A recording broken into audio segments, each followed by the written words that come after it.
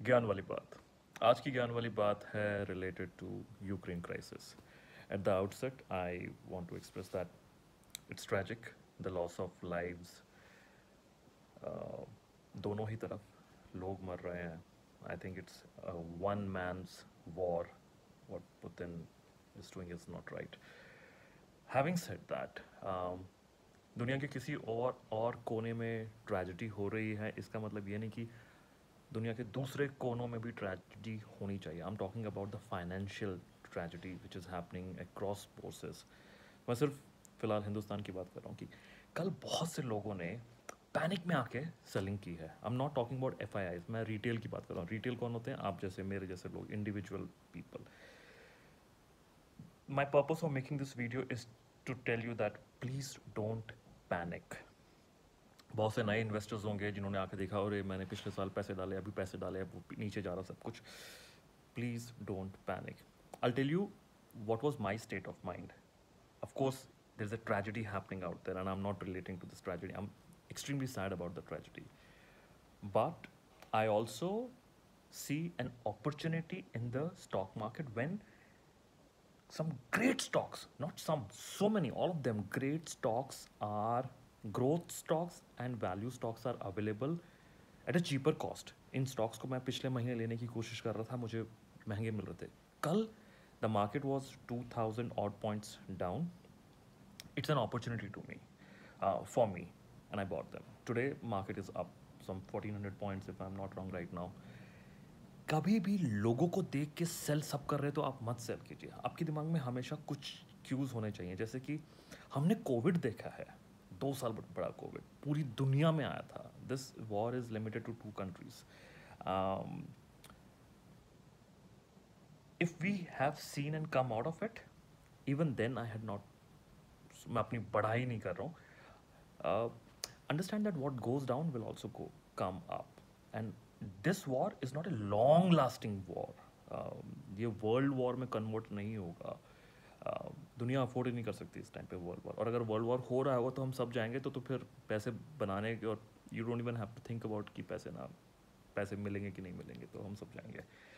जैसा कोविड में हम एक बार में सोच रहे थे कि अगर सब मरेंगे तो फिर पैसों का प्रॉफिट क्या ही देखना।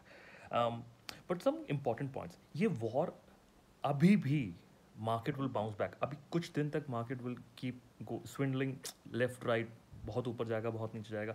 Don't worry dips should be seen as opportunity to buy i'm not a financial expert i'm a layman how i work how i have made money in the stock market i'm just sharing because a lot of people keep telling ki kya karna asking ki kya karna chahiye i'm still not giving stock names those are very private uh, to me and i just don't want to put it out there on social media like that but couple of things are happening you Russia Russia पे uh, बहुत बड़े sanctions लग रहे हैं और लगेंगे Russia aluminium का world का सबसे बड़ा प्रोड्यूसर है। मेटल्स बहुत सारे निकल वहाँ से आता है।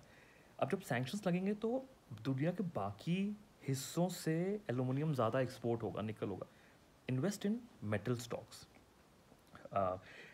rush, अब यूरोप पूरा रशिया के अगेंस्ट हो रहा था Europe was dependent on Russian gas line अब रशिया उसको गैस सप्लाई नहीं करेगा। Russia ten percent of fuel crude handle करता है अब लोग कम खरीदेंगे।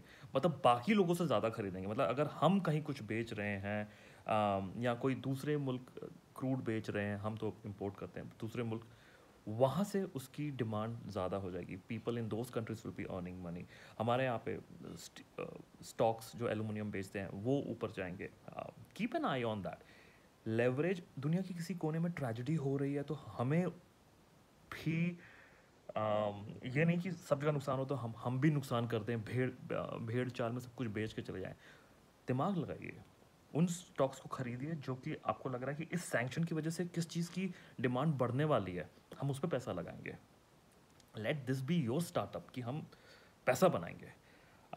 Not at the cost of somebody tragedy this can't be averted so sorry please don't think कि कहीं जाने जा रही हो, मैं पैसे बनाने की बात कर रहा हूँ।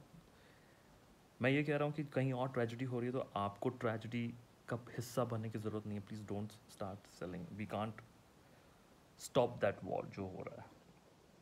अब बता रहा हूँ, ये वॉर एक बहुत ही छोटा एलिमेंट है in the whole macro economic situation में जब, जहाँ पे कि दुनिया के सारे बाज़ारों पे असर पड़ेगा।